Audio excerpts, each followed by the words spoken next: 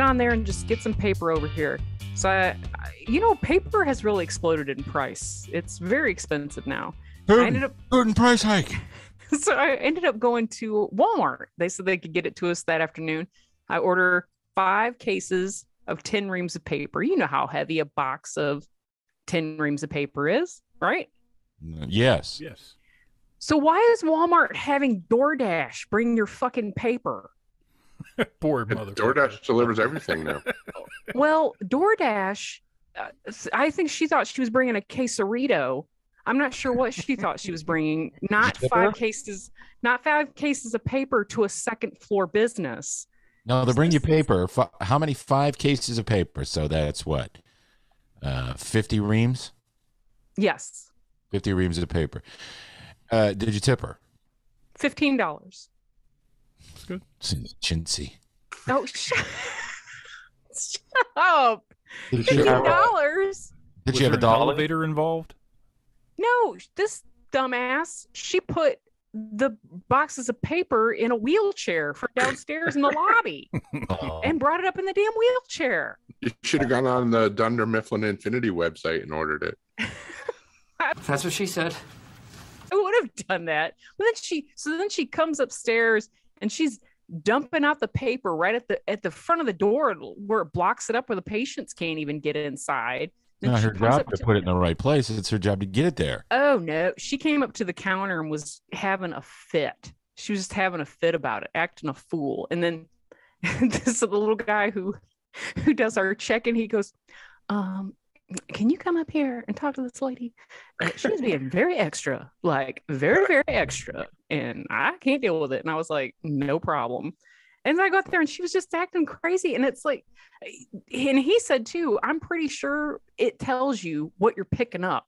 So if you know that you don't want to be carrying five cases of paper, don't take the job. Anyway, so Well, she started out delivering, you know, fast food, and now she's fucking schlepping paper. well, get a cart, bitch. Get a cart. What I I'm mean- saying is she wasn't anticipating having to get reams of paper from Walmart. she took the job okay she took That's the job so that's my whole thing and if you're gonna do this job get a cart i mean it's like there's the carts are like 20 bucks at academy she could have got one of those i don't know but anyway it was very irritating so i went on and i don't normally do this because i hate it when people do it to us but i was a i went on their site and i railed and railed railed and railed. shook my fist at that screen You oh i was them, furious you reamed them a new one. I did. I, I reamed them over our reams. You know, that Pakistani coder that's going to get that message really cares. Oh, just like I do when I, because I'm the one who monitors our stuff. Yeah. When I Now imagine you live in another country. That, like, well, too bad for you. Go somewhere else. tough shit. All right. Well, while while Steph is contemplating her next method of um, abusing a poor private contractor for DoorDash, maybe she's going to get cinder blocks delivered tomorrow. Only fifty of them, though. I'm gonna, I'm, I'm gonna get um, just some like cages of rats, something like Cages that. of rats. Hey, run by the uh, Rat Emporium. I need a cage of rats. Can Can you bring me cigarettes? No, it's no. We don't allow that. You can get alcohol, food, uh, reams of paper, but you know, hey, God forbid they bring you a pack of cigarettes. Yeah, Not that's kind of messed up. I mean, but I, to me, this kind of goes along the same lines as uh, with the Lyft and Uber, where they said we're not an ambulance. I Yeah. feel like DoorDash, they should also be like, we're not UPS. It's not the same. You can get a pack of cigarettes delivered on GoPuff. Go puff. Yeah, it's an app. Like How, how much is that? it's gonna be like fifteen bucks. Jesus. for One pack of smokes. So it's you can just pretend you live in New York Or Yep. Canada. or, or Canada. They're twenty five bucks or something. Holy. Yeah, Who but in fuck would go Canada, Canada anyway. in Canada, the DoorDash will bring you weed. Yeah. Oh, So yeah. And, And you you can get- smoke weed in comedy club. For every uh, 10 bags of weed you order for the 10th one, you get a replica dildo of Justin Trudeau's penis. I want that punch card. Yeah. I'd And rather then have a replica of his real father's penis. Castro? Yeah. he does kind of look like young Castro, but hey, we're not going to besmirch the the leader of Canada today, even though I just did. This is season seven, episode seventeen of Radio Labyrinth. We talk about pop culture and things like that from a Gen X perspective, or whatever the hell Dustin is. I'm, I'm Gen X, damn it. I'm You're a 75. millennial. You're a millennial. What are you? Are you Gen X or are you millennial? No, I'm Gen X. Yeah, I was 75. Okay, yeah, you definitely are. Yeah. You did miss out on Hong Kong Phooey, and for that, I feel bad for you. Yeah. they Well, were in reruns. I double it up. I double Scatman Crothers up on Sh- The Shining, so I'm good. Yeah, I saw The Shining when I was 10 years old. What a great uh, uh, example of parenting. Yeah, you can watch it. that old lady, I'm like, oh, something's tingling down there. Oh, now I'm scared. Hurry, Th- hurry, kill! and set then they your killed whole- the black guy. That was the that was the shitty part. The only person that dies in that entire movie, and it's the black guy. Yeah. And Then he it- doesn't die in the book. Hey, it doesn't die in the book. No. exactly. He comes back as well. I guess he's in the spirit realm in uh in uh the the with Doctor Sleep. Yeah, Which is a good takes book. Tony's place. Yeah. I like Doctor Sleep, but there's a lot of twelve step shit in it that's kind of annoying, which is in a lot of his books. Certainly, Wolves of the Calla, where they're talking about uh, is it Wolves of the Calla, where you hear an awful lot about uh, Pere Callahan. Yeah. Yeah, he goes. He, he uses the steps in in a, in a lot of the book. I mean, most of the books. He's either a writer that's a recovering alcoholic, a recovering alcoholic, or a recovering alcoholic writer. So or he's obsessing on a comp- or he's you know binged out on booze and coke writing uh, uh which which uh oh, the Tommyknockers. no no That no was a coked out.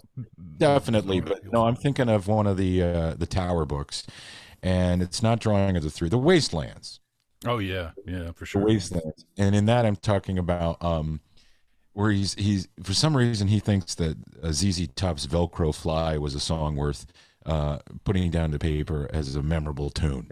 I know. Terrible song. Yeah, Even it was. ZZ It, was, must have been. It was. And what's weird was, I think it was closer to when he wrote that, like a more current album. It wasn't even like a classic ZZ Top song.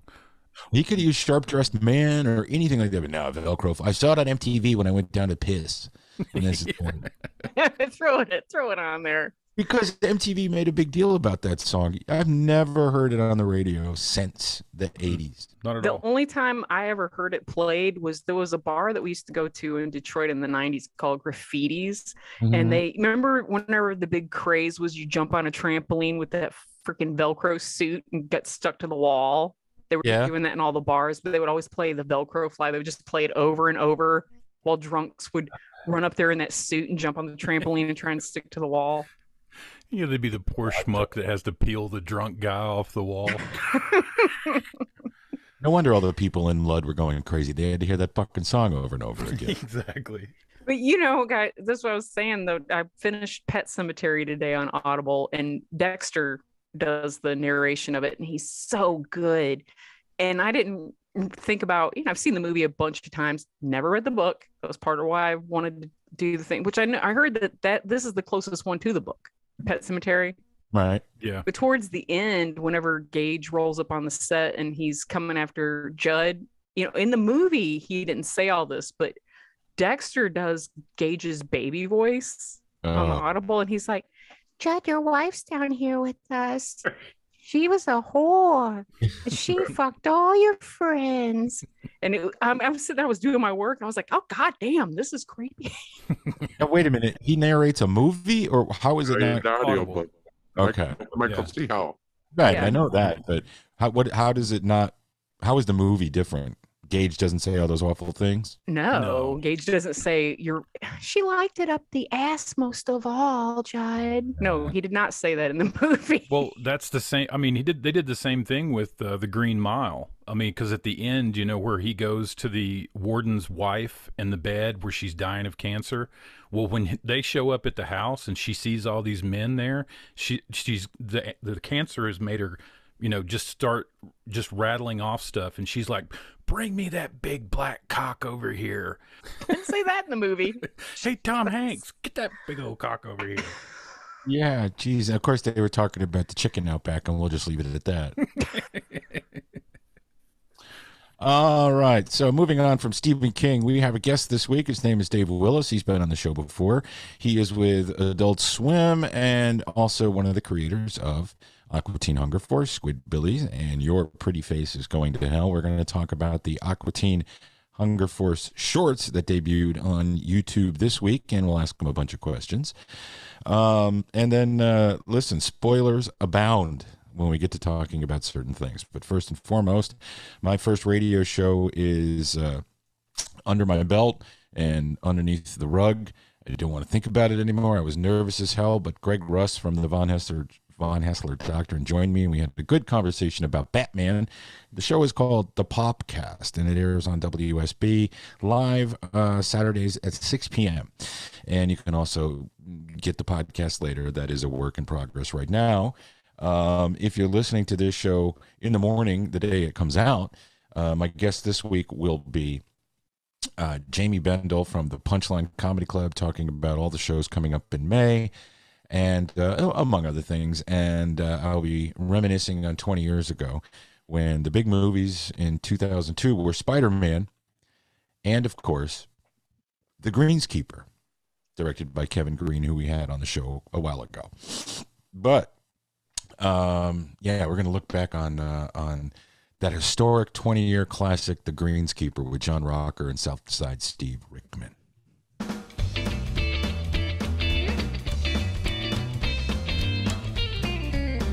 Um, let's see. Now I'm looking at these notes here. Uh, it says I need to eat a tweet. Why do I have to? Oh, because I said that if if t- they let Elon Musk buy Twitter, that I would eat the tweet. That is exactly what you said. I didn't believe that they would allow him to do it. You're, we're going to allow you to put a little peanut butter on it, though. We decided. Okay, So print it out, get All some right. peanut butter. let me get it off my crotch. I thought it was Uh, crazy how um every when the story broke that he was finally buying it for for you know for sure, it floated from 43 to 45 44. They just kept throwing out all these numbers and I was like, you know, in most instances, you know, a million dollars more or a thousand dollars more is something, but a billion dollars more is ridiculous to to Yeah. float one way or the other. That's a lot of money. I mean, that's a lot of money. That's a lot of money. That's a lot of money. That's right, smart of money. That is. That's a lot of money. That's a lot of money. Jesus God, I can't believe it. Um, I, Do you think he'll free. change the name? Do you think he'll change the name to Tesla? no, I don't think he'll change. my my SpaceX. MySpace X. I like that. I saw that on That's Twitter. pretty good.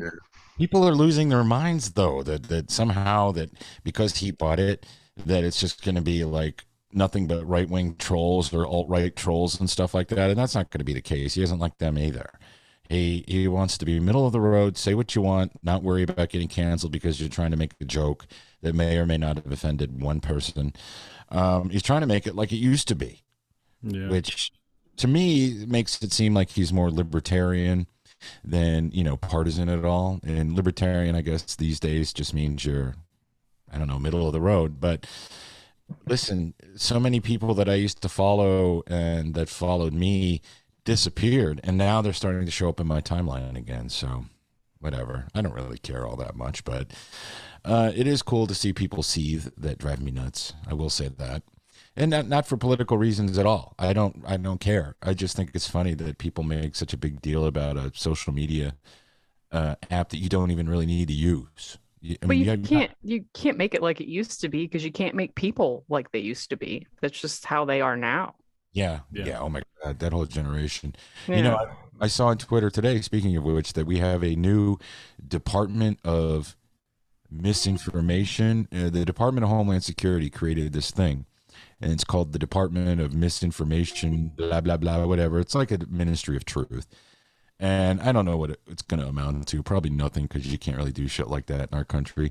But what the funny thing is, the woman that runs it used to be in a band called the Moaning Myrtles, and uh, where the you know was in the mid two thousands there were these bands popping up, proliferating on MySpace that sang songs about Harry Potter. So uh, this woman and uh, her friend made a band, and they were the Moaning Myrtles. And I think that's funny because now she works for Professor Mum- Mumbledore. The Ministry of Magic. Yes.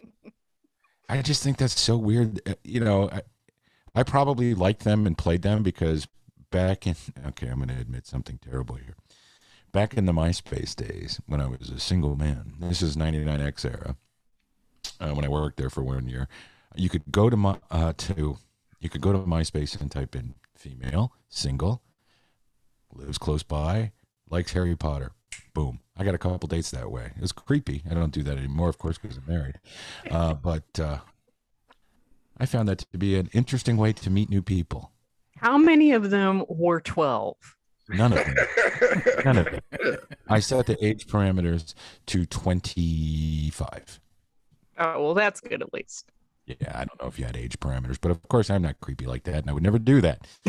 Um, but uh, yeah, I actually met one lady, and uh, lady, I met a woman, and I ended up having her on as a character on 99X uh, to do Harry Potter trivia. I was really into Harry Potter. Jeff waited in line to get the last book, and he bought me a copy. Do you remember that? Yeah. And uh, then he photoshopped me on the cover, and I think it had something to do with sharding. But anyway, so this is where we are now. We're old, and the people who grew up with as children, loving Harry Potter, and you know, doing all that kind of Harry Potter crap, like creating a band called the Moaning Myrtles and dressing up like Moaning Myrtle, uh, they're now running everything. Isn't that great? Isn't that comforting? Yeah, we're not running shit.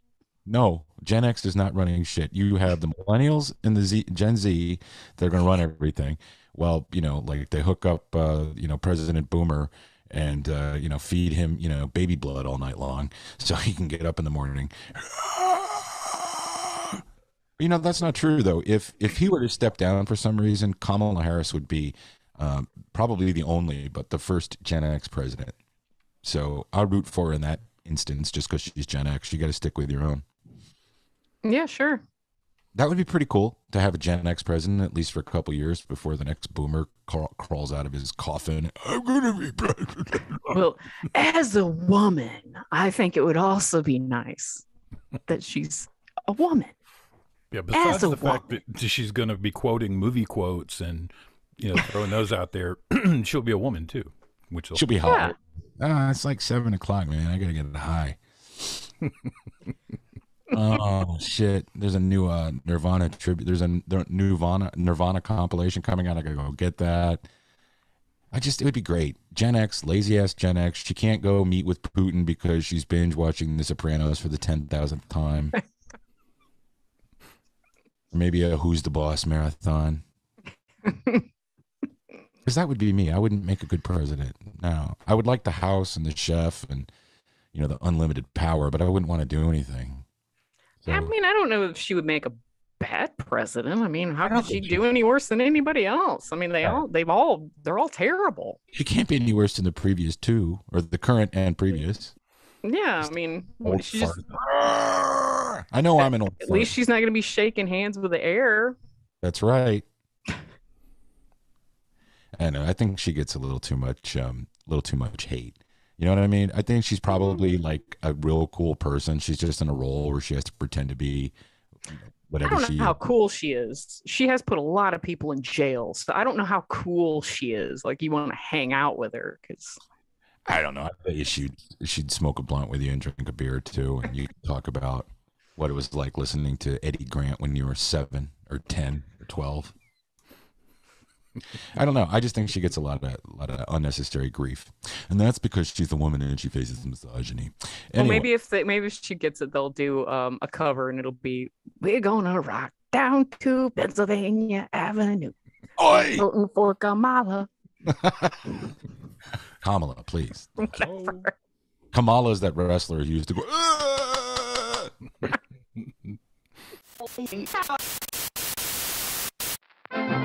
Heard the latest news on the radio. RTV,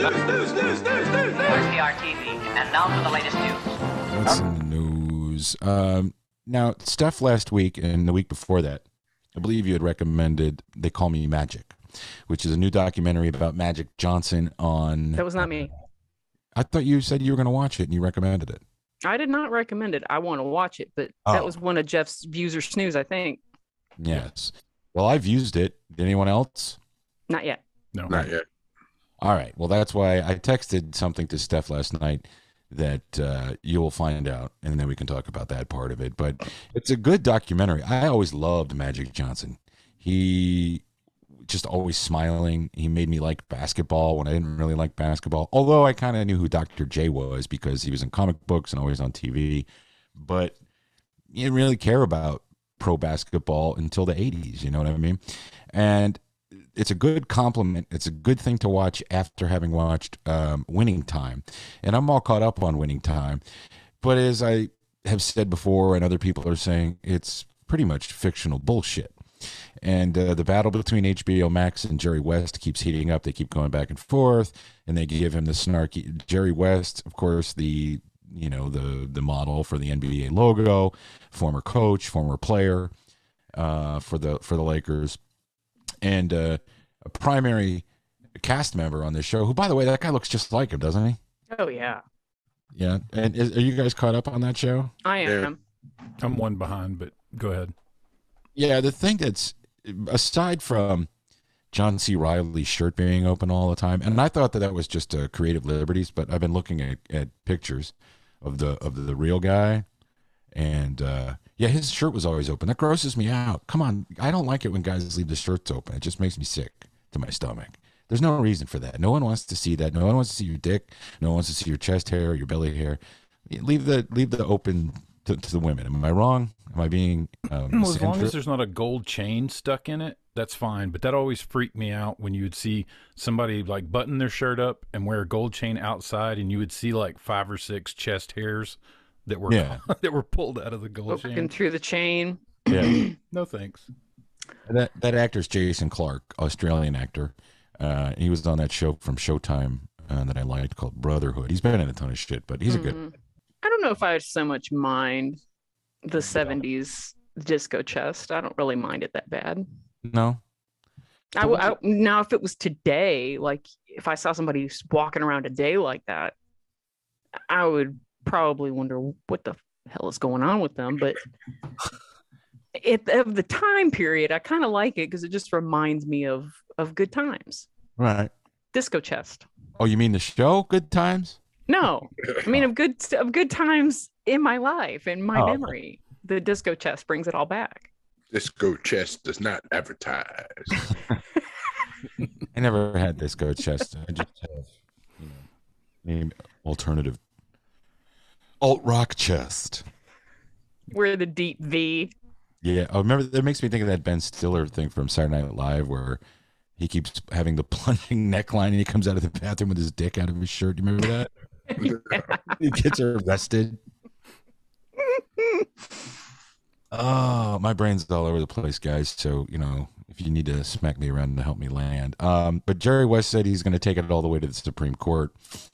They do make him look kind of racist on there and stuff. Yeah, they make everybody look terrible. And and Kareem Abdul Jabbar came out and said, I never told the little kid from airplane to fuck off. and and he goes, I didn't sit around treating everybody like shit. Um, but but pivoting to the to uh, they call me magic.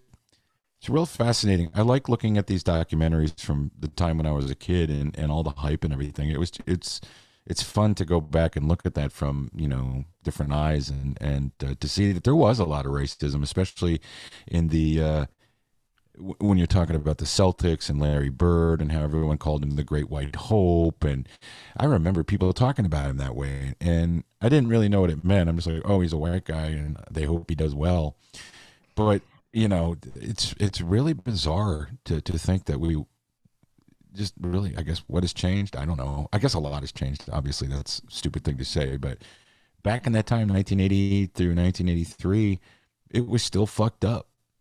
Well, you know, I had a, my coworker who is black friend. You know, she says to me yesterday she was she's been watching the Jeffersons, and she said, "I don't understand how this show has made it through cancel culture. I mean, the things that George says. I mean, he like says the H word, and I'm like, the H word. She goes, you know, and I'm like, honky. She said, yeah, and I said. The H word? I said, you understand that does not hurt us. You can call us honky till the cows come home. You can call us pretty much any racial name. and it doesn't hurt us. You know, not like it does you. You know what I mean? It's not the Right. same. Yeah, most of the time, goes, we'll agree with you. yeah. And she's like, if you, so if somebody called you white trash, I said, yeah, only if they were white. If another white person called me white trash, I'd be like, fuck you, you're white trash. but I'm like, if somebody black or Mexican or any other race called me white trash, I'd be like, "Mm, okay. Yeah. It's a term of endearment. Yeah. Yeah, I never understood why honky was supposed to make people upset. I guess it only made Tom uh, Willis upset. And she even said like, well, sometimes when I hear you guys talking and I'll hear you say something about a redneck or whatever, I'm like, oh, ooh, because like the way I was raised, that was you know terrible. You don't call white people that or call them crackers or and I'm like, not you can call us all those things. We don't care. How old is she? She's 42. All right, so now picture yourself in the late '80s in Georgia, uh, calling a white person a redneck. not, not a good idea. Not a good idea. See, we grew up in in the north. We all did pretty much, except for Dustin, right? We all grew up in the north where that kind of shit didn't really exist. It may have in an urban area or in a town with you know more than five thousand people, but we didn't encounter stuff like that. This is the South, so there's generations and generations and generations. It's like you better be careful. They, you know, redneck like get nuts.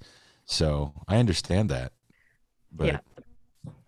yeah, call me a honky. I don't care. yeah, call me a honky. And that's you you know, we both we both agreed though there is a big difference between uh the uh and the r. Neither for us to say. We can't say either of those words, but you Can't even does- talk about it. It's much harsher. The er is much harsher. Yes. I said, but but you could call us Gotcha. you could call us crack up and we're good with it. The only time I felt insulted was when uh, I I was being a honky and beeped my horn after a concert. And the lady turned around and went. She said, uh, "She said, hold your horses, McCain voter." and I'm not going to use use the accent, but I was very offended because I had planned on voting for Obama and did so. But just because I was white, you think I'm voting for McCain? That hurt my feelings. that is a honky thing to do though, what you did. Well, I waited. I'm not normally a beep. I don't normally beep at all. But I mean, I was sitting there for 15 minutes after a concert, and she was just blabbering away to the car. So, meet me. We are retroactively trying to cancel things in the past. Steve Martin was the latest version of it, although I don't think it stuck. I have no idea where it came from, but it seems to me to be gone. Someone is upset about uh, his skit and, of course, the song for King Tut, which what 1978 he came on Saturday Night Live and performed his hit novelty song King Tut, which radio stations did play. Now, why do you think Steve Martin wrote a song about King Tut in 1978? Anybody know? Because King Tut, the thing was at, in the museums. Mhm. Touring Jason around. that year. The real King Tut. Right. So he wrote a song and he dressed up like ancient Egyptians, not current Egyptians. He dressed up like ancient Egyptians and they did the dance and had fun and and uh, you know da da da da da da. And people were getting pissed, but then other people came out and started to defend him because it's ridiculous. Why would you care? Who would even see it? You know, it's not on the radio. Uh, nobody's playing it on television. It's just why? What's the point of, of getting upset about something that no one sees? Well, somebody found it on YouTube, so it was. I guarantee you, that's where it Yeah. started. They do that all the time. You'll you'll find things that pop up, and all of a sudden, they'll be like 11 years old on YouTube, but it'll be something like that, something from you know our era, and you'll have all these millennials just like why they don't understand any of the context, and and that's the whole problem. You know, they don't get how it's funny by everything Right. that it was related to at the time, and since that goes over their heads, the sarcasm just doesn't make sense. Well, one of the lines in the song is, "He's my favorite honky."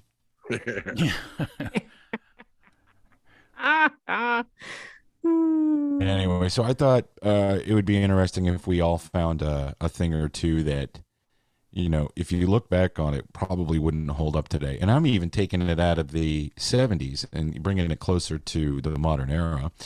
Uh, you guys have one? I- just did the Dana Carvey Chicken Man from Saturday Night Live. You won't find that on YouTube. You won't? Why not? because he, he- he's had that scrubbed. You can't find it anywhere. Is that the one where he's playing an Asian? Yeah, chicken no make good good house pet. Okay. Oh yeah, I remember that now. Okay. Now, what made them think they could do that then? I don't know. What about um Dieter from Sprockets? That's got to be offensive to German people. yeah, nobody cares. That's nobody cares in Germany if you're making fun of them. Uh, I put down uh, Jack Tripper. The character would never fly now from Three's Company. A man pretending to that? be Pre- gay Pretending to be gay. in order to to room with two women. Yeah, and then all the jokes that Mr. Roper and Mr. Furley used to make. Yeah, Yeah. yeah, all, all yeah, Yeah. all those, yeah, the backhanded gay jokes that were just you know thrown out every episode. I mean, if Furley was was, it, in the Mr. Roper? episode, it was there. Yeah, but Mr. Roper always would go, you know, Yeah. put his hand in it. And I thought that, you know, because of that show, I thought that's what you, that's how you greeted gay people. Ooh, hello. It's not. no, you have to learn your lesson. Um, I, okay, mine's from 1994. It's a song by Tim McGraw called "I'm an Indian Outlaw," and this is, I think, it was his first big hit. Tim McGraw, of course, the famous country singer and also now actor. Uh, here's some of the lyrics: "I'm an Indian outlaw, half Cherokee and Choctaw. My baby, she's a Chippewa. She's one of a kind. All my friends call me Bear Claw. the village chieftain is my pawpaw. He gets his orders from my mama. She makes him walk the line. You can find me in my wigwam. I'll be beating on my tom tom. Pull out the pipe and smoke you some. Hey, and pass it around. That's a fucked up song. Where it came from. Uh, that's like close to Ahab the Arab. The Sheikah Oh, yeah. Sam yeah. with rings on her fingers and bells on her toes and a bone in her nose. Ho ho. I wonder if he still plays that in concert. Indian Outlaw, probably. Huh. It was a huge song. I don't know why he wouldn't. Oh, I thought you were talking about Ray Stevens. Oh, I don't know. Is he still alive? I don't know. I don't know. Now, yeah. If you're offended by Tim McGraw, let me tell you about Ahab the Arab. The sheep the bird of the thing. Yeah, the emeralds and rubies just a dripping off of him, and a ring on every finger of his hand. He wore a big old turban wrapped around his head and a scimitar by his side. And every evening about midnight, he'd jump on his camel named Clyde and ride silently through the night to the Sultan's tent where he would meet up with Fatima of the Seven Veils. Ridiculous. That's what the camel Clyde says to Ahab. What about turning Japanese? By the vapors? Mm-hmm. hmm I think I'm turning Japanese. I really think so. They didn't do the a- Asian voice in that though, like Dana Carvey. No. I just tried to Google that Dana Carvey, but you can't find it anywhere. No, it's gone. Yeah.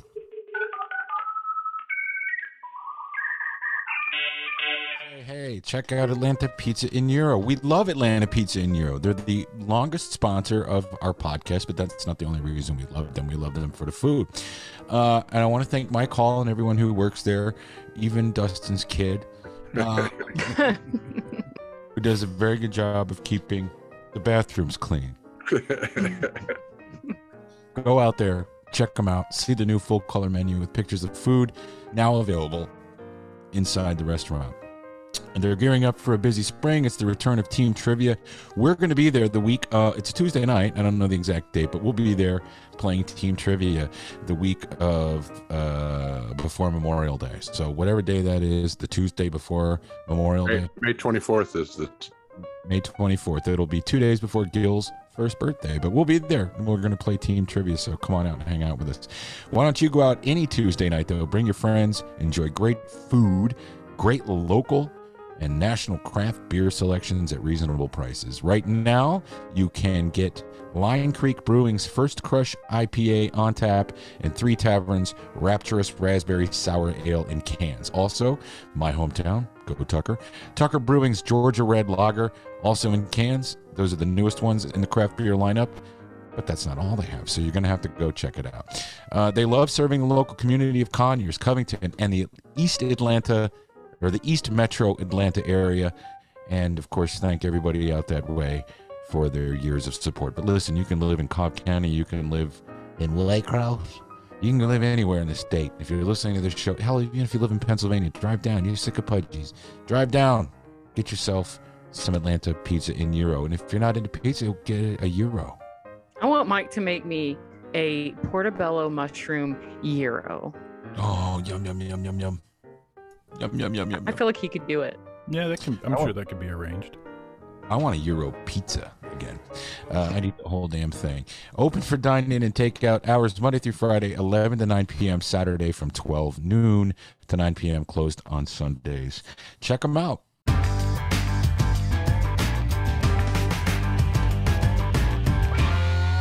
Oh, yeah. Hey, you want you some hot dog? We, we got plenty. Look at this. Solid meat. Hello, ladies. I'd like you to meet my little friend there, Goliath. We had to order special elastic pants for him on the internet. Where's Carl? Oh, yeah! Awesome! Here's our introduction for the man who needs no introduction. It is Adult Swim and Atlanta uh, film cartoon uh, art maker Dave Willis. What's happening? We're talking about culturally relevant things like Ahab the Arab by uh, Ray Stevens. yes. Uh, that might not fly were it released today. Um, you know, I vaguely remember that. I just remember the streak. That was Yes. the one. I feel like we did a Ray Stevens knockoff, a knockoff of a knockoff on Squids, but I'm blanking on it. we tried to get Weird Al in it, Yeah. and then we couldn't. So then we created a Weird Al knockoff called Strange Hal Spankovic. and then the day after it aired, uh, Weird Al went to Twitter and was like, "What is the deal with this?" So then I got I got a, a contact info for him, and I said, "Yes, or your agent uh, uh, wouldn't let us uh, shot us down." So he got pissed, and then he ended up doing the theme for us. And now I still get a Christmas card from him every year. Nice. Pretty awesome getting a Christmas card from Weird Al. hmm I'll brag about it. That's a that's that's not, that's a brag brag. It's not even humble. I mean, that's pretty.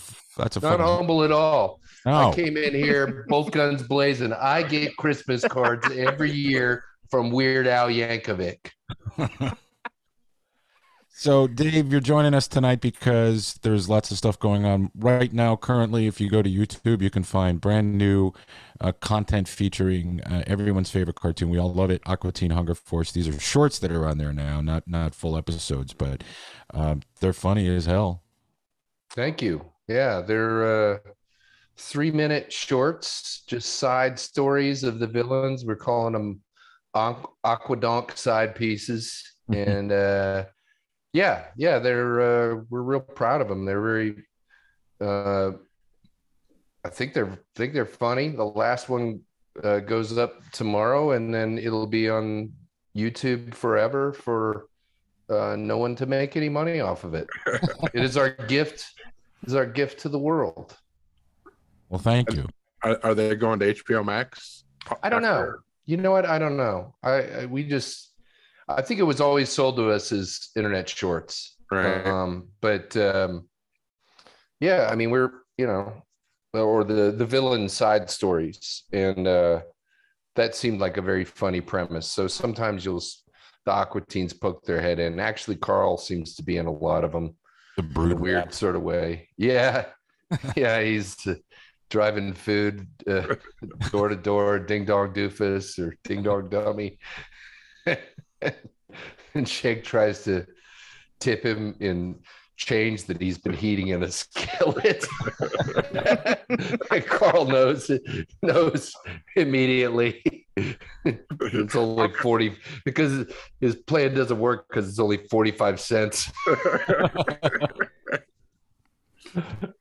So I think we talked about it before, but and I'm going to shut up after this because everybody's got questions. But what was it? What was it that kept them from being full episodes uh, on Adult Swim to to doing what you've done?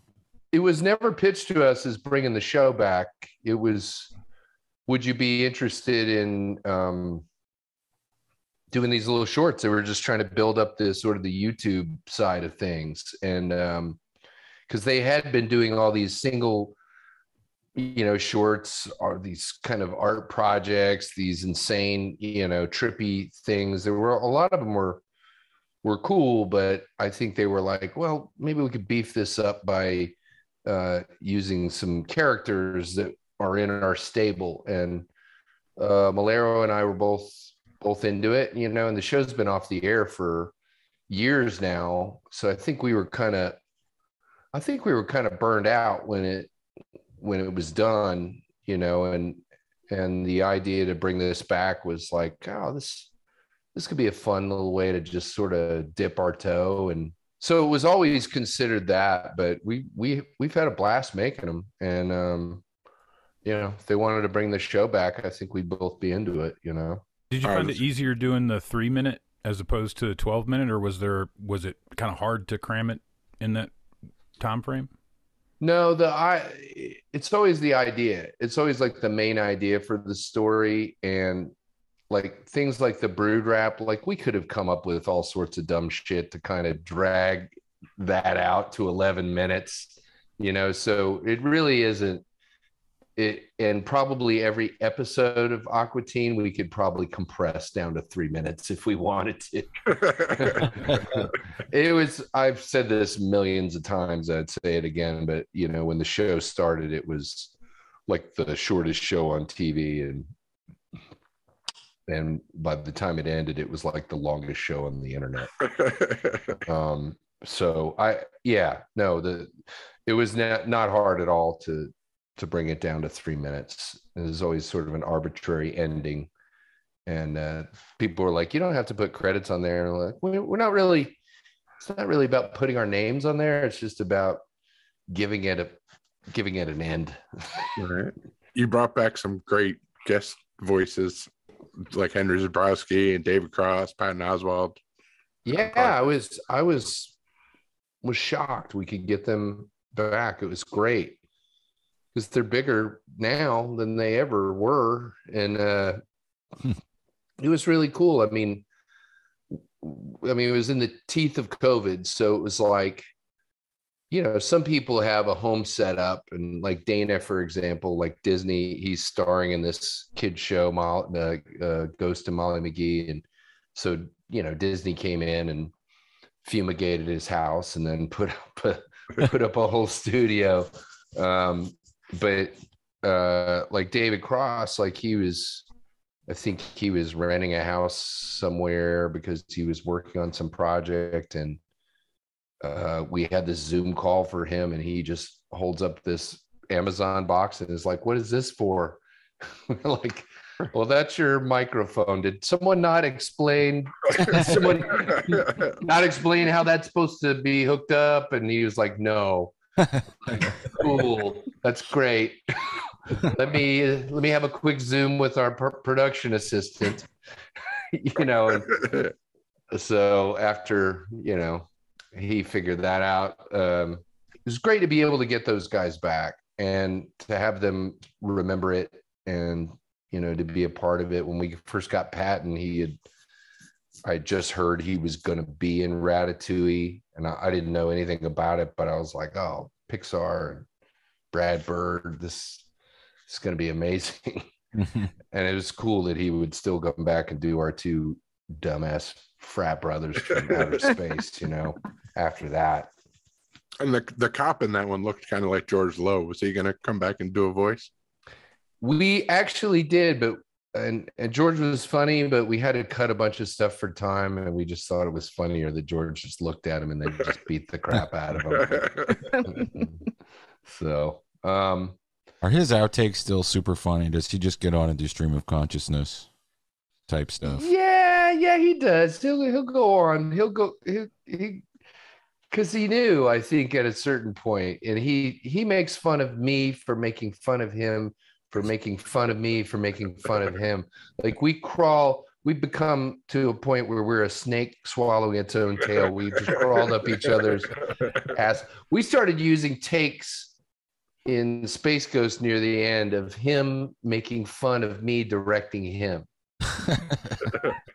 I could pick him out, uh, but yeah, he he's definitely um, definitely. And I I sometimes get I sometimes get texts from George from time to time. You know, Mm-hmm. uh, living in uh, living in Florida and and uh, doing his doing his art thing and um, yeah, hopefully we'll get to work with him again.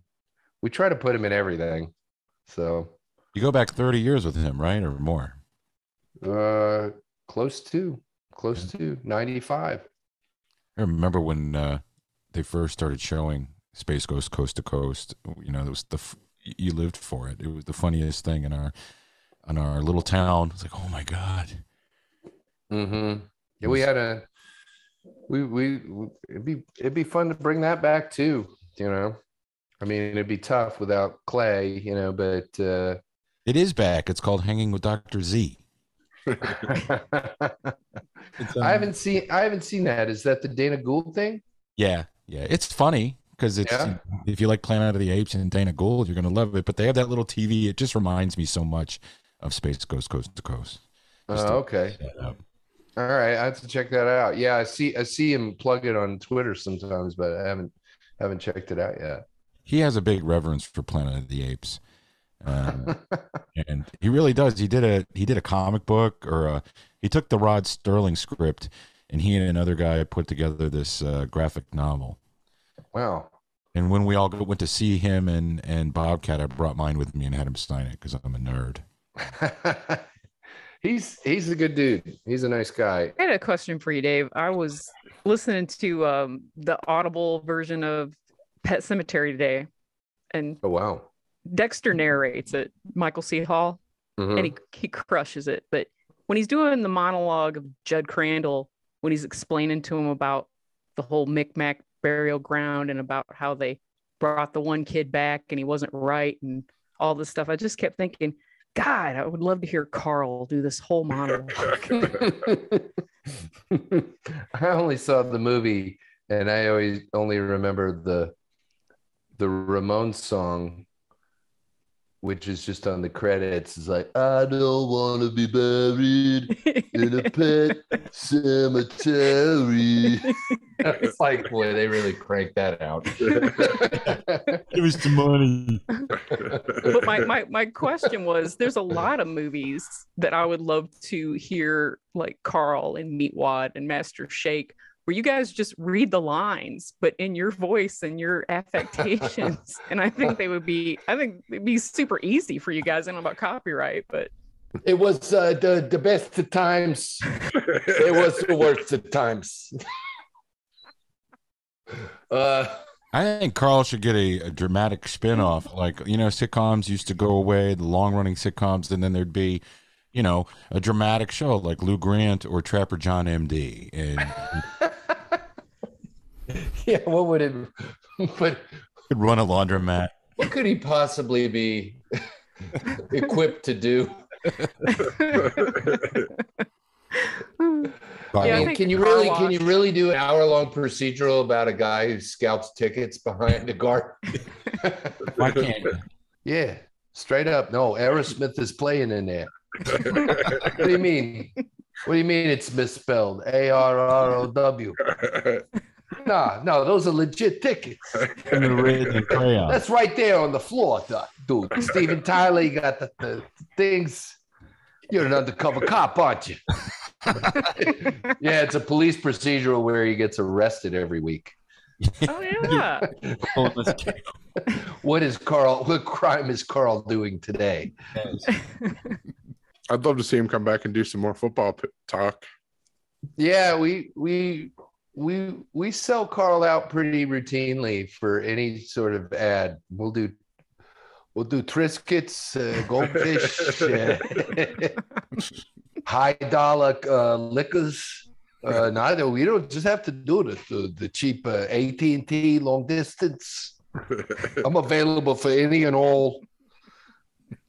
It's kind of funny. I was reading this uh, Chuck Klosterman book about the '90s, and they were talking about how um, artists were just didn't want to sell out, and uh, how that was just a big deal back in the '90s, and and uh, it turned the corner at some point because Matt and I don't think twice about it. If they're like, "Hey, would you um, would you be into doing a Carl ad for asbestos?" We're like, "Yes, absolutely." What's the what's the quote?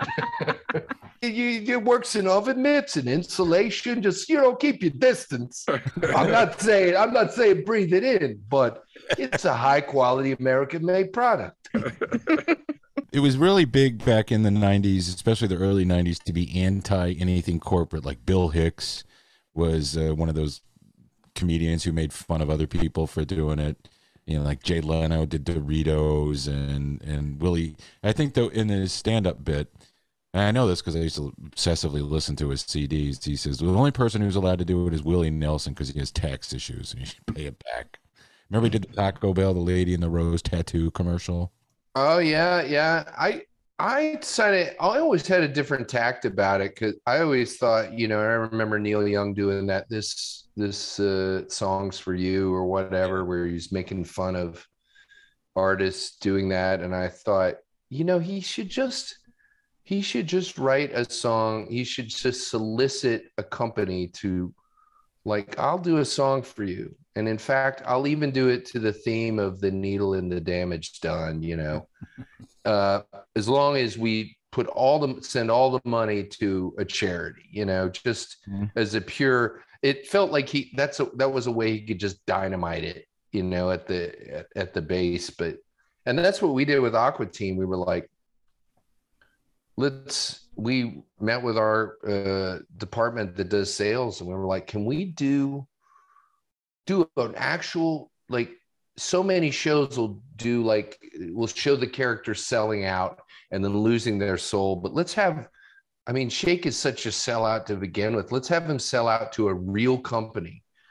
And they were like yeah boost mobile we could do that. And that's what that whole boost mobile thing was. We just had Shake. All of a sudden, he's real good friends with a larger than life cell phone that has uh, unlimited texting and data. And uh, and um, but then at the and at, at the end of the day, we were like, we have to get the money, not not us, but the company. The company should get the money, and and uh, it did work out that way. But then at the end, we kind of got disgruntled when um, I think Boost Mobile sent us for Christmas, we we engineered this whole deal and we brought in all this money, and then they sent us like this like lotion kit for Christmas. we were like, "Are you fucking kidding me?" And I think Matt uh, FedExed it back to them. Overnight FedExed it them the lotion kit. Was it at least Bath and Body? Was it at least like a good? Oh brand? no, it was like something you'd find in a Hampton Inn. it was like hand lotion. Great. Boost Mobile hand lotion. I, that's such a funny episode too. Yeah. Uh, it's and I never knew that it was actually that it was actually them who was involved that was involved with it. I just thought you were making fun of Boost Mobile. Yeah, Shake was, you know, it, it, it's very consistent with his character. He's just a complete whore. Mm-hmm. If he knew, if he knew he had the power of, of being on TV, of course he was going to sell it to somebody yeah. immediately. So the last time you were on the show, we were talking about the Aqua Teen Hunger Force movie and uh, also your Pretty Face um, animated stuff. What's going on with those shows, or can you talk about it yet? Yeah, I can talk a little bit about it. Um, so the movie, I'm going to we're going to Skywalker Ranch next week to do sound design and mix on the movie, and it'll be wow. done middle of May. Yeah, yeah. It's it's um, and I'm really uh, uh, yeah, I think Matt is too. I think we're both really proud of it. It's re- really funny. I, I can't believe we did it in like a year span during COVID uh, via just innumerable Zooms, and um, it was it's like 75 minutes long, which usually when you hear a movie is 75 minutes long, you're like, uh oh, Uh-oh. but uh, we were told to make a 70 minute movie. Uh, contractually, we were told to make a 70 minute movie. And uh, it's probably the right length of time. It doesn't overstay its welcome. It's really funny. It's actually got us, as opposed to the previous one, it's actually got like kind of a story. Um, and uh, it's got uh, an interactive element that I'm not allowed to talk about yet, but that is very legitimately has never been done in a movie um, that I'm aware of, and it will.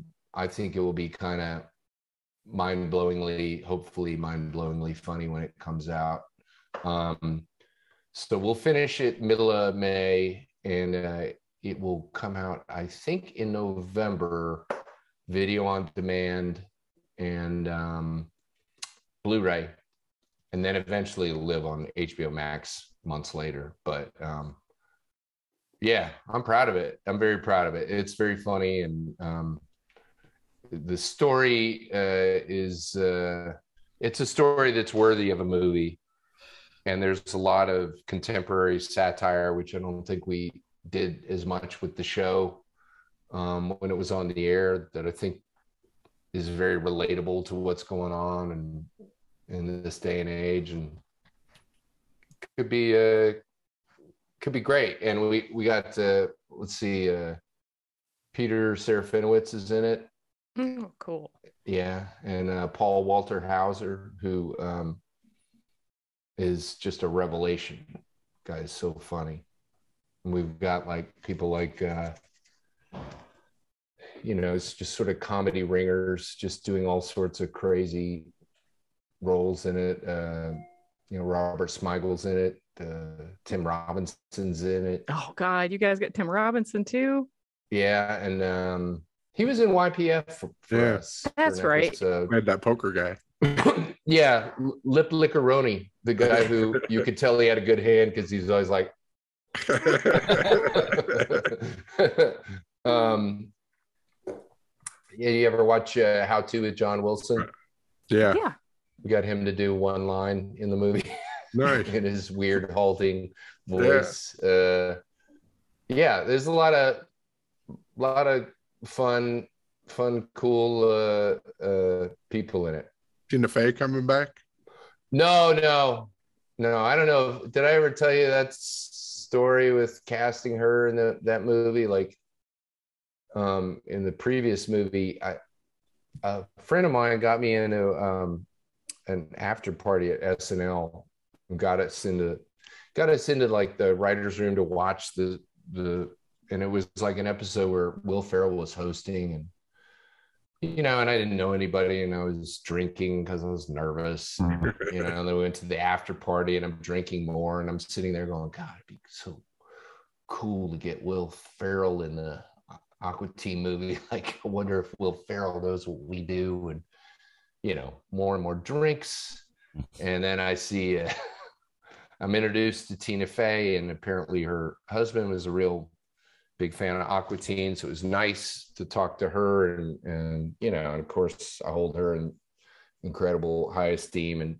you know, I was thinking, oh, it'd be great to get her in the movie, but at the time too, I was thinking, how do I get to talk to Will Ferrell so that I can get him in this movie? So we're leaving the party, and I'm and I see her out there, and I say, "Hey, Tina." You know, at that point, I'm kind of buzzed and I, and I didn't know how to ask the question, you know. And meanwhile, like Will Ferrell's in some booth with Lorne Michaels, sequestered in some private, tiny behind a brick wall, uh, where you got to pull a bookcase to get to it. You, and you know everybody is, um, you know, nobody wants to probably approach that booth. Most especially a guy who's crashing the party in a drunk you know? But I, it was like uh, hey tina do you know anybody famous? That's what i asked her. And she goes like as i'm leaving i just met her and like do you know anybody famous? She goes what do you mean like uh, like queen latifah and then at that point, my wife had pulled pulled me away. Thank God. Well, at least you didn't go up to the booth and throw yourself at it and be like, I want to be on you. Yeah. I've got plenty of those. these- I've got plenty of these drunken sort of stories. Yes. I don't drink anymore. The last time I got drunk was a year ago this week, and I kept prank calling Adam Carolla. What did you say to Adam Carolla? I don't want to repeat it. I think I said, "Hey, would you suck my dick or something like that?" And he went, "Yeah, okay."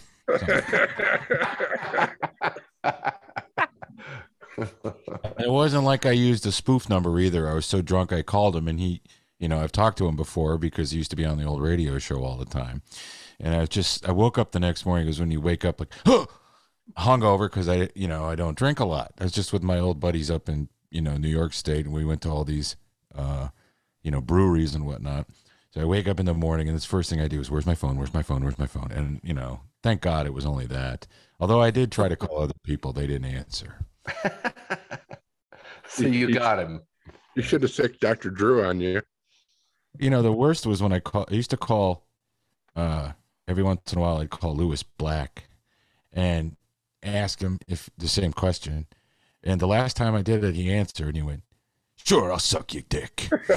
and he wanted me.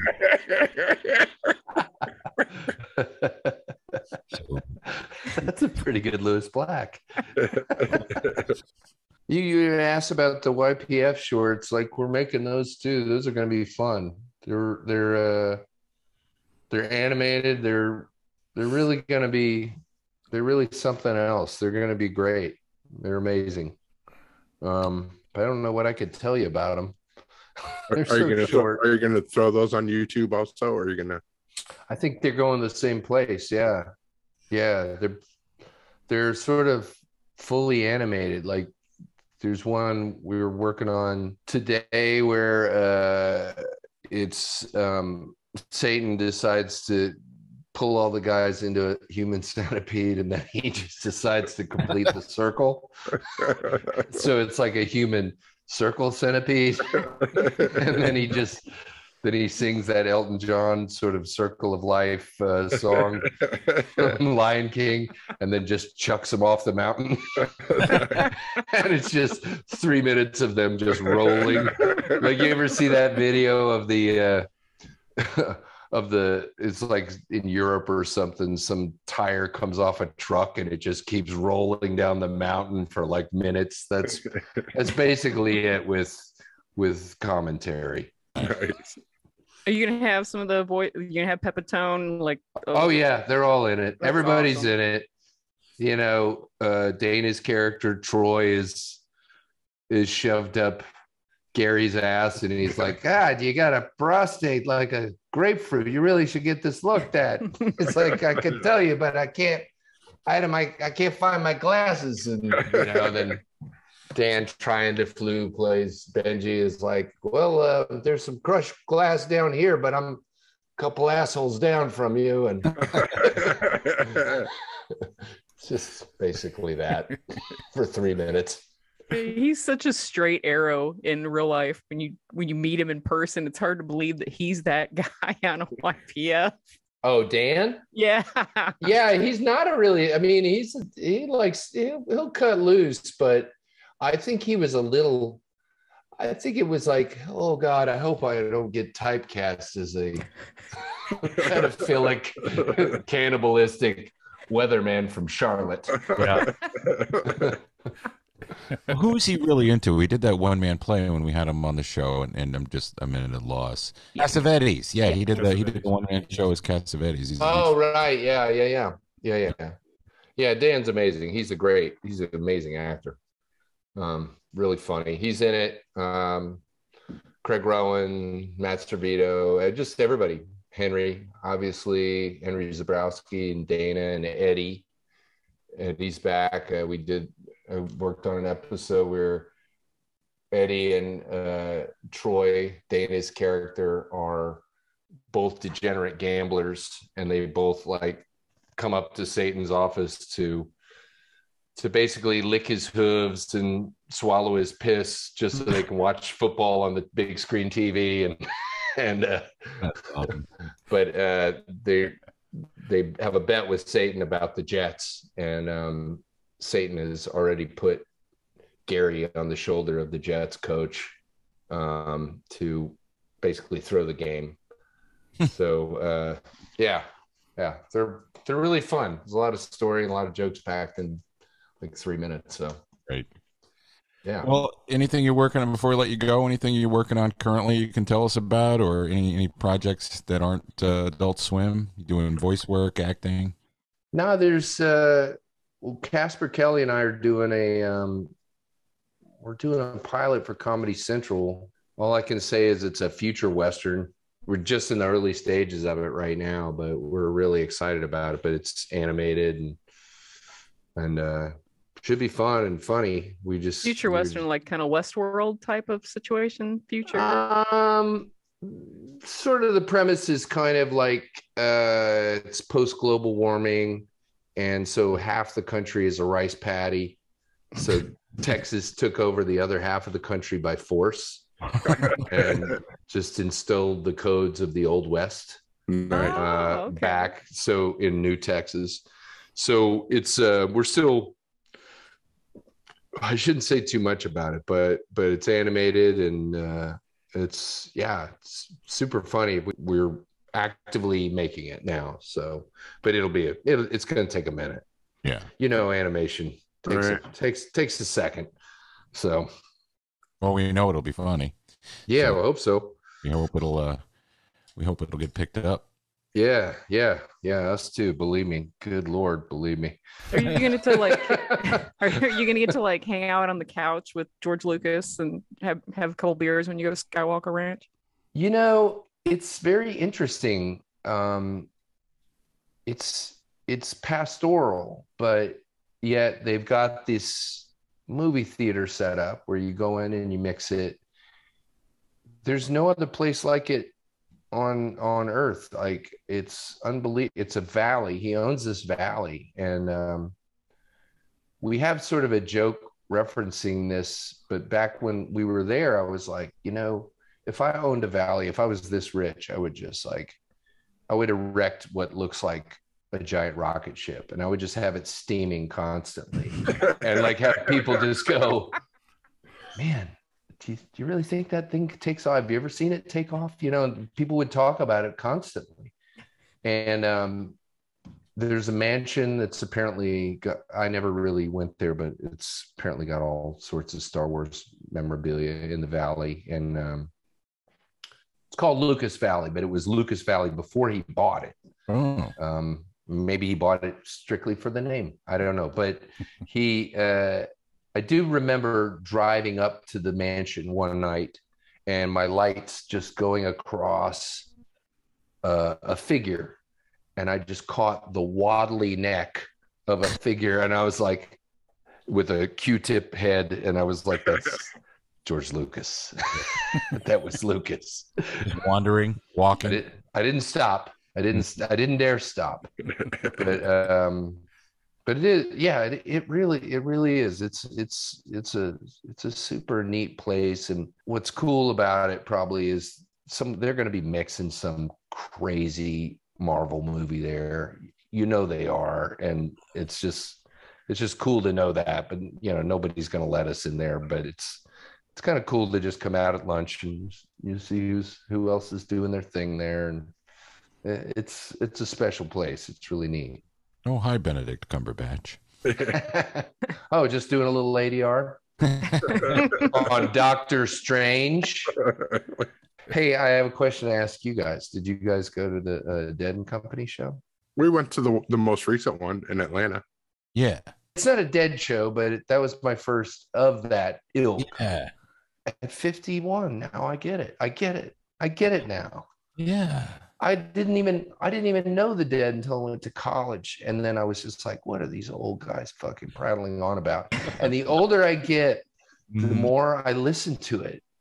And I'll go over to that dead channel on Sirius, and my wife's like, please don't, please don't listen to the dead. and, and I'm like, but it's so rich in meaning. the older I get, the more, the more I love it. It's what I listen to when I'm getting an MRI. Because by the end of one song, it's finished. But anyway, go ahead. I was saying, don't bring. Oh, you're not bringing your earbuds into that uh, donut, are you? They, they give you headphones. so don't- oh, that's good.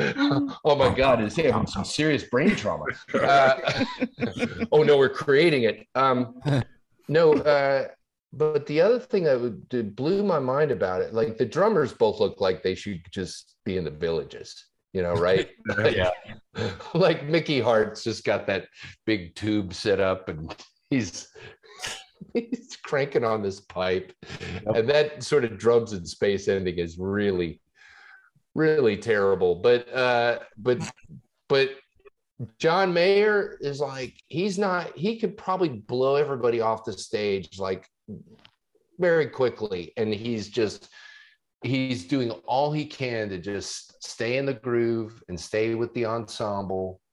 You got Bob Weir, who's not really like, who's probably like just not a front man at all.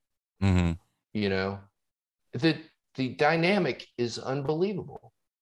Yeah, he, really, what Mayer did was brought brand new life to that band, and the women stopped looking like they, you know, walked off of a hippie bus from 1978 and started looking like, you know, girls that might like John Mayer. So that was nice. I mean, not to be misogynistic, but I'm just saying it brought a younger crowd to the shows, which is why they do those great big full venues now. But also, Mayer really put the effort in to learn all the songs, and uh, he's just really good.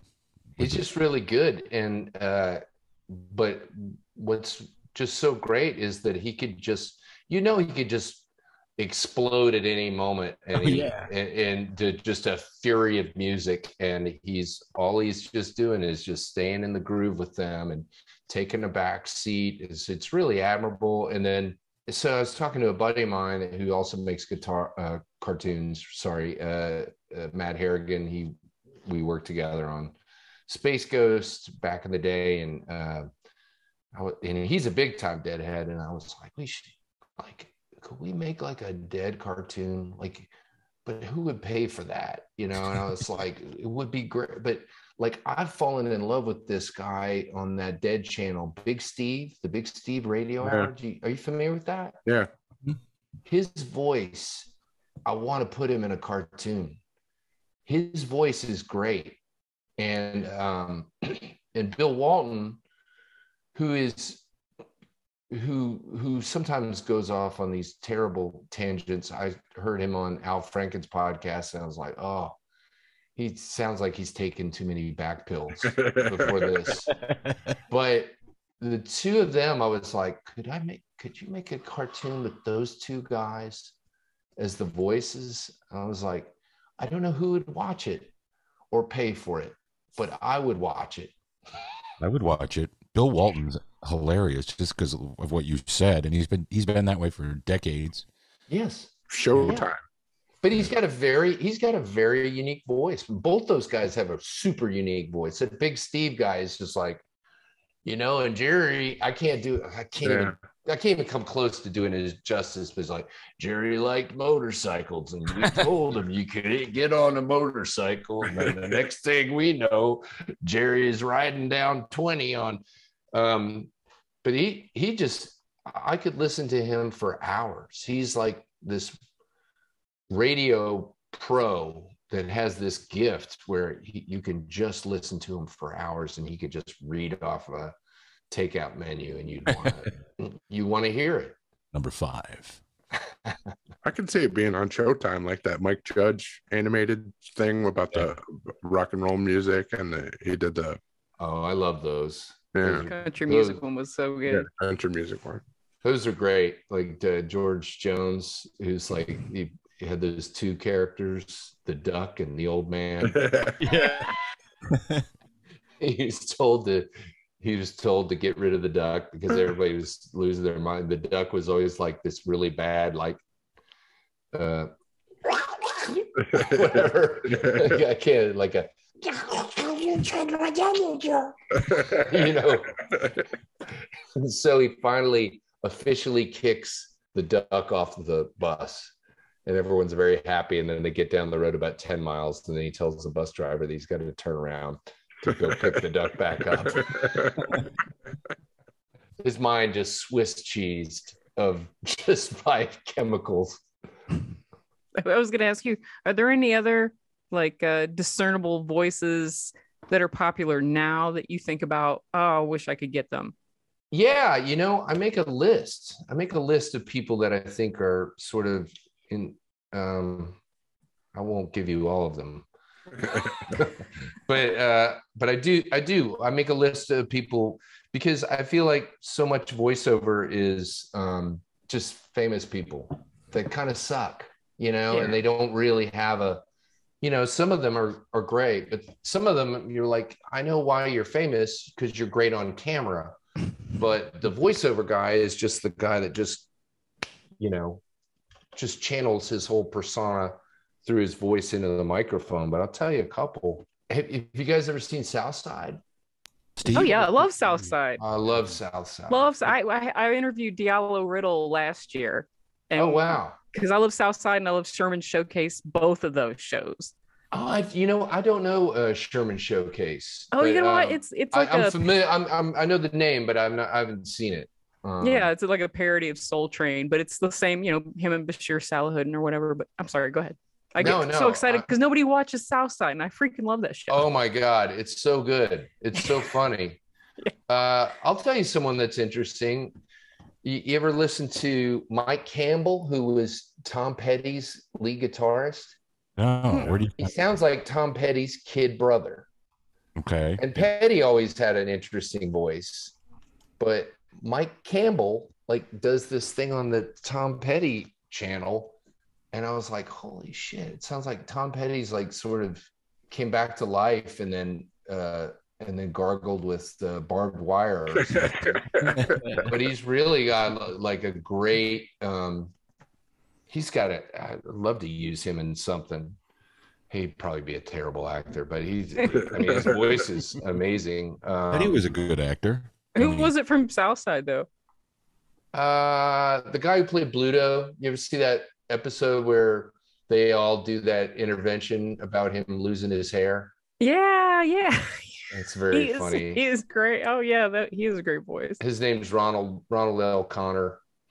Um, Antoine McKay, who's in. Um, you ever see Patriot on Amazon? Mm-mm. Have any of you guys seen that? Patriot? Patriot. No. I The have. Spy Show. Oh my God. This is like, this has got to be top five TV shows for me of all time. Ready Oh, wow. Of all time. I mean, I put this show with Breaking Bad. I put this show with The Sopranos. Really? this is a top five show for me. It's so funny, but it's also like got it's just a awesome, awesome mix. And it's a bummer that they only made two seasons of it, but my favorite. Like I put it in there with the wire. Yes, I put it on that Pantheon. I'll do it. please. Please. Now we got to check it out. Yeah. Yeah, yeah. You'll. I, I'm telling you, you will send me flowers. You will. you will. You will send me flowers with a nice card I in will a couple of days. And a Christmas card, which won't be. You're gonna go. What, Your why was I wasting? What have I been doing? Wasting my time with all other TV shows that wasn't named Patriot. Yes. It's just Patriot, not the Patriot. Yes. Patriot. Yeah, it's a terrible name. Yeah. It's a terrible name. You see the you you'll see the picture and you'll be like, yeah, I know why I skipped this. It's kind of just it looks like just another dumb, um, but it's not. It's brilliant, brilliant, brilliant, and funny too. So funny. It's great. So Terry O'Quinn, Michael Dorman, Kathleen Munroe. hmm Yep. Okay. Wow, it's been around for a while. Well, they only made two seasons, Okay. but you know they don't throw that stuff away. no. no. They don't just like this is your last chance to watch it before we completely delete it. Awesome. Um, I'll, I'm going to tell you one other voiceover person that I, this guy Sean Harris, who's in the Green Knight. Did you see that? Yeah. Oh, okay. did see that. Yeah. That guy has a sinister voice. Yeah. And he has a know. good look too, but I mean, he's definitely got that sinister voice to go with it. hmm Crazy, sinister, wormy, villainous voice. You, you just can't fake it. There you go. If any Thank you. casting agents are listening to this, do not hire those people. Before we let you go, where can Tim get a copy of Moon Master 9 so he can play it on his Twitch stream? He's got the Uh, he would for have to go to the New Mexico uh, desert and dig it up. It's under uh, it's under three tons of concrete. I'll go check that out. Dave, thanks for coming on the show, man. Um, yeah, It's great to talk with you again. And, you know, we all love everything you guys do and that you do. So much success. And of course, when the movie comes out, we'll, we'll tout it as much as possible. yeah. Oh, thanks very much, man. And we'll All talk. right. Thanks, guys. Yeah. Thanks, Hi, Dave. Dave. Appreciate it. Hey, I want to thank Dave Willis for joining us.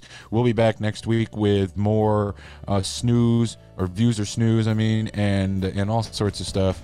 Uh, if you're interested in becoming a Radio Lab or at Patreon, go to patreon.com forward slash Tim Andrews. And uh, of course, follow us on all the social medias. And make sure if you're watching the show on YouTube to like and subscribe and share. Oh, and by the way, keep it canon.